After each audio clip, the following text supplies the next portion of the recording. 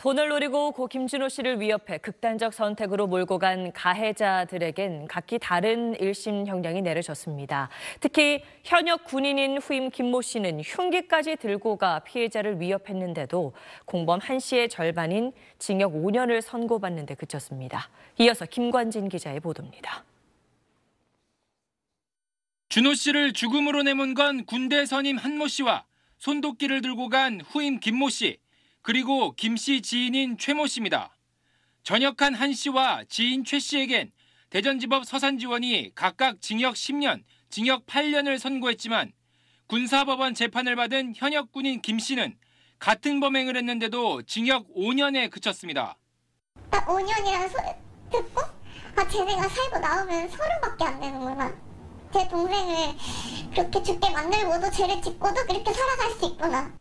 준호 씨의 극단 선택을 강도치사, 즉 강도행위와 직접 연결된 피해로 볼지를 놓고 두 법원의 판단이 달랐기 때문입니다.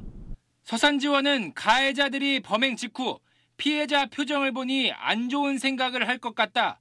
진짜 죽으면 어떡하냐고 얘기한 사실과 특히 준호 씨가 일진에 대한 두려움이 있고 소심한 성격임을 잘 알고 있었다는 한 씨의 진술에 주목했습니다.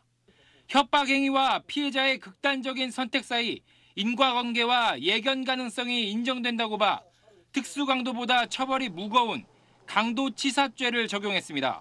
하지만 군사법원은 범행과 죽음 사이 인과관계는 인정하면서도 가해자들이 죽음을 예견할 징후가 있었는지 입증되지 않았다며 특수강도죄에 대해서만 유죄를 선고했습니다. 망치로 머리를 때리는 느낌이었어요. 제 동생이 그런 선택을 했지만 사실 그렇게 밀지만 않았지 나떨어지까지 그렇게 민 건 걔네들이거든요.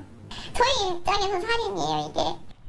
동생의 억울함을 밝히기 위해 동분서주하던 작은 누나도 돌연 세상을 떠나면서 단란했던 가족은 이제 아버지와 딸 둘만 남았습니다.